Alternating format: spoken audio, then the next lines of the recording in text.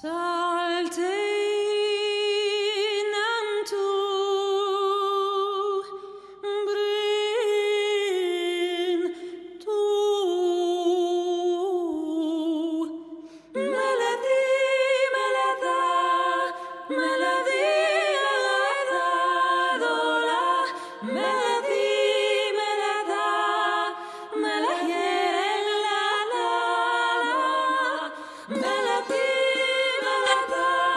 Buenas tardes a todos, buenas tardes a todos. Bienvenidos, bienvenidas. Día más en clase de miércoles.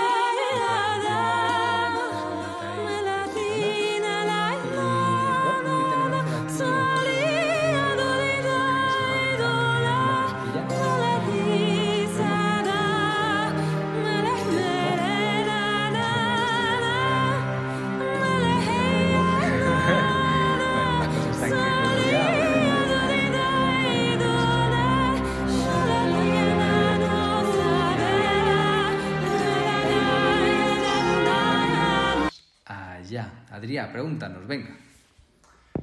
Pues eh, acompañando partos, a veces eh, a la parturienta le cuesta desconectar de la mente o dejarse llevar o como hacer un paso atrás para dejar que empiece con fuerza el proceso de parto y que, que recomiendas. Vale, bueno, vamos a ver. En esto de inducir al parto, vamos a partir por lo más básico de inducción al parto. No sé si ya hablamos la otra vez que vimos un poco lo de los partos y Sí. demás. La inducción que se suele hacer. Ah, sí, lo explicamos muy meticulosamente, Sí. ¿verdad? Que, vale. La otra parte, bueno, la primera cosa es saber que aquí, eh, como siempre, si intervenimos poco, mejor. En el sentido de poner un millón de agujas ni cosas de estas, ¿no? Siempre hay trucos para que la persona se calme. La única cosa que hay que cuidar eh, que no se calme demasiado, porque que se calme ella mentalmente para que pueda entrar en su cueva, que pueda entrar e interiorizarse y que vaya saliendo algo más, más, tri- tri- más tribal, ¿no? más primitivo, pues puede conseguir que la persona que le baje la tensión, que se calme demasiado. Es lo mismo de las bañeras, cuando se hace una piscina de agua con agua calentita, se está muy bien, ayuda a la dilatación, pero si el agua está muy calentita y la persona se tira allí más de 20 minutos, pues le va a dar una bajada de tensión que luego se para el proceso expulsivo y no nos interesa si estamos en ese momento de parto, ¿no?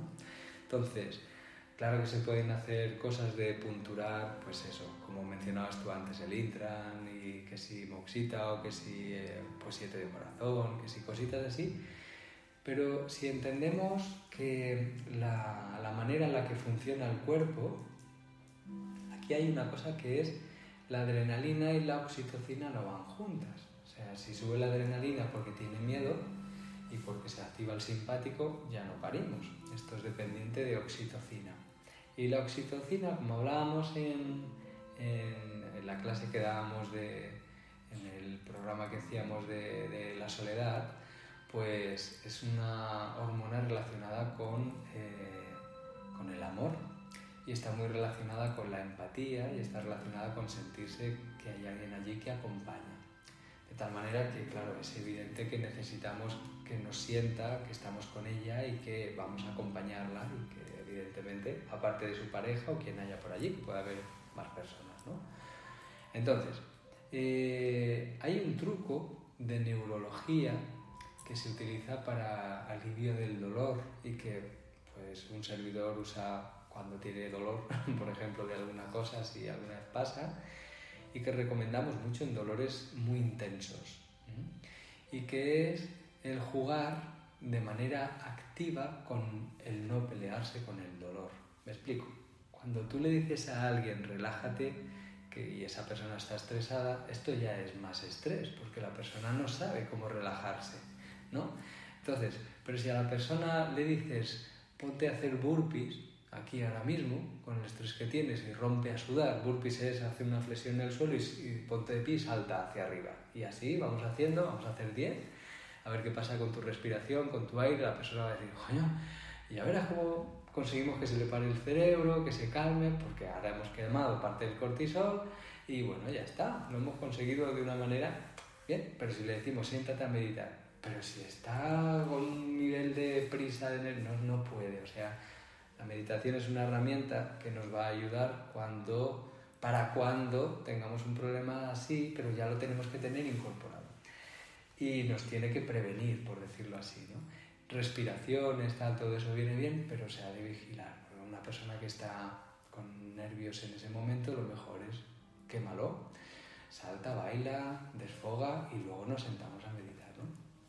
Bueno, pues el truco de neurología para el dolor, en este sentido de eh, tratar de no pelearse con él, y hacerlo de manera activa es que entienda, esto normalmente se le enseña antes del momento del parto a la embarazada, y si es el momento del parto, pues lo va a entender muy bien porque lo va a ir practicando a cada contracción. Y consiste en tratar de relajar muscularmente todo lo que sienta que se le tensa en el cuerpo. Es decir, la parte proactiva es la de relajo, relajo, quito la fuerza, sería la expresión, quitar la fuerza muscular de todo lo que se esté contrayendo en ese momento. Perdón, he dicho relajo, relajarnos, relajar no se puede usar. Hay que decir, quita la fuerza muscular. Quitar la fuerza muscular al final es relajar el músculo, pero relajar el músculo entramos en conflicto con esta, para, con esta palabra, pero cuando decimos quita la fuerza muscular lo entendemos todos. De hecho, ahora mismo si estáis ahí y os digo, quitad la fuerza muscular de las rodillas, de la pierna y de las rodillas y miráis un momento y tratáis de hacerlo, relajáis. es inevitable. Quita la fuerza del cuello. La persona hace pum y se le cae la cabeza. claro. Le dice relaja el cuello y no se le cae la cabeza.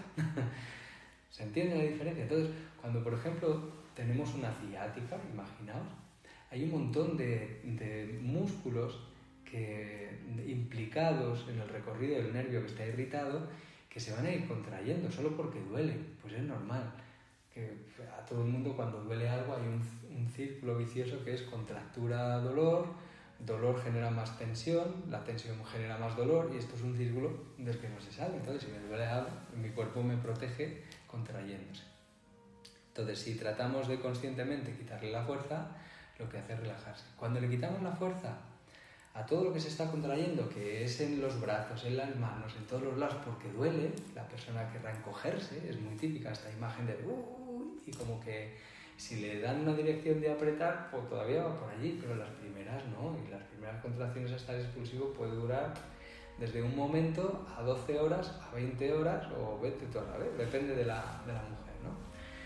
Entonces, si la persona va haciendo ese ejercicio de quitar la fuerza muscular, descubrirá que puede sentir lo que hace su útero y cómo se está contrayendo el útero. El útero se contrae como, como una, una ola de mar desde la parte alta, considerando alto lo que está más cerca de la cabeza de la mamá, hacia la parte de, la expulsión, hacia la salida de la vagina, y hace como una onda, desde arriba, contrae hasta abajo.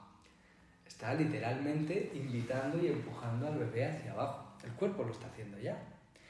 Cuando podéis imaginar que cuando la persona tiene que concentrarse para darse cuenta de qué músculos se le tensan cuando viene la contracción, y tratar de aflojarlos para que la, la contracción se concentre en la tripa, ya está dentro, ya desconectado del exterior.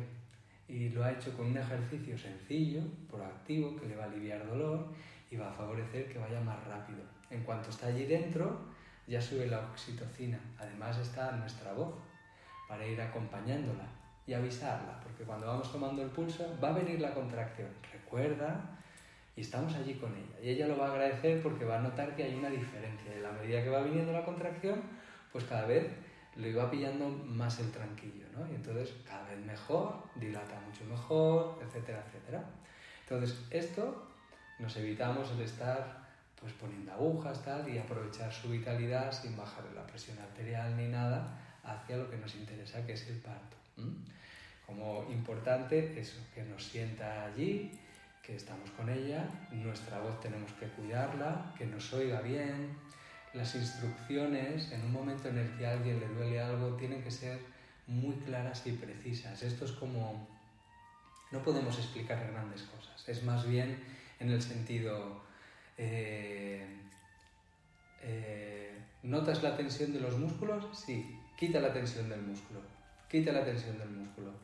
Afloja la tensión del músculo. Algo muy directo en el que haya un tono más o menos agradable, pero que haya firmeza también para que la persona haga sin cuestionarse nada. ¿Vale? Coloca tal. En la medida que vemos que va reaccionando, nosotros nos callamos y vamos bajando el tono para que vaya ella entrando más fácilmente lo que está sintiendo y cómo lo está haciendo. Y estamos con ella. ¿bien? Y jugamos ahí.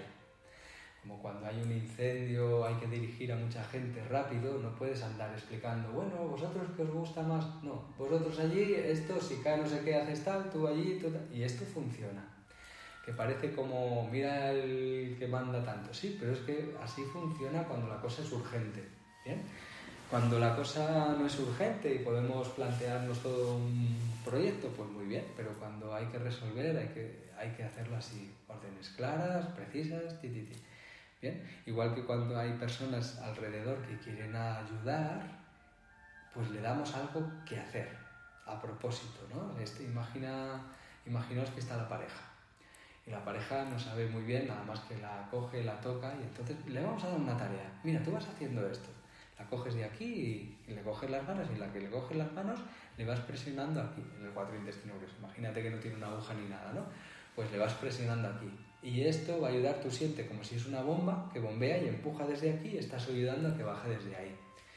Y como no tiene otra cosa que hacer, la pareja a saco, o sea, le romperá los huesos de la mano casi, pero, pero ya, ya se siente útil. Esto también es importante porque la mujer, tener un estorbo al lado, no va a querer sentirse acompañada, querida, mimada, que la escuchen, que entiendan. La pareja tiene que sentir el dolor, tiene que impregnarse del dolor de ella para que le suba la prolactina y se vincule al bebé cuando nazca. Entonces es importante que esté presente. Entonces ahí le damos una tarea para que colabore, que no se sienta un pasmarote porque la sensación de impotencia es muy grande para el hombre y si tenemos algo que hacer, pues coño, ya, está bien, ¿no? está, está muy bien no, mira, vamos a preparar esto, elige, habéis elegido la música que queréis poner, si es en casa, ¿no? Un poco incienso, que no sea muy cargante, que sea lejano, para que no, porque le va a agobiar a ella cuando se ponga en el, parto. Bueno, pues le, damos tareas, ¿no? Venga, tráeme una, una, una, toallita limpia, blanca, si puede ser, si no la tiene blanca como sea, traer aquí. No es para ella ahora mismo, lo vamos a utilizar de esta manera. Algo que se nos ocurra, o sea, que no es otra cosa, ¿no? Si queda mucho y está por allí, pues le damos tareas para después. Pues mira, después ella va a estar cansadita, no querrá comer, pero luego ya sí. Entonces estaría bien que tuvieras preparado un caldito, no sé qué, alguna cosa así. Venga, a cocinar. Le mandamos a cocinar. ya está. Y según va viniendo las cosas, que vaya viniendo, pero que él se sienta que está útil y... ¿Vale? Eso es importante. Entonces, bueno, pues todas esas cosillas, si nos dan la posibilidad de hacerlo, vamos haciendo así. Y luego tenemos que cuidar que habrá una, una comadrona, ¿no? O una llevadora, como se dice aquí, pues que estará ayudando al proceso del parto. Entonces, aquí es importante que ella, que es la profesional de lo, ya tiene mucha experiencia, muchos partos, más que nosotros seguro, que se entienda que nosotros estamos a su disposición y que la, y la colocamos nosotros que ella tenga claro que es la que manda y que la medida que necesite nosotros vamos haciendo. Entonces, esto le va a dar mucha tranquilidad a la persona, a la comadrona, mucha tranquilidad a la mamá, a la futura mamá, y a nosotros nos quita el peso de responsabilidad de conflicto, con, bueno, yo lo haría de otra manera, o no, o yo podría hacer esto, y no, pero no me dejan meterme. Bueno, ¿tú qué necesitas? ¿Que tenemos un expulsivo? ¿Que dilate? Tal? Pues yo voy haciendo, no hay ningún problema. Bien. Vale, y así como hacer, pues lo que se os vaya ocurriendo para calmarla con masajito energético, en el siete de corazón, tal, cosas muy elegantes para que os sienta allí, vuestra mirada, vuestra voz, vuestra cercanía, con respeto siempre, porque va a haber una, un, tú vas a estar vestido, ella no, y aquí hay una, le va a dar igual en un momento dado, pero de primeras a lo mejor pues se siente vulnerable, y esto tenemos que tratar de evitarlo también, ¿no? Para no estar demasiado encima, en que, sea ella la que quiera que estemos, ¿vale? Y bueno, un poquito más así, todo va bien. No sé si te he contestado más o menos. Más o menos. Vale, ¿alguna pregunta más en, concreta? No. En ese sentido, quiero decir.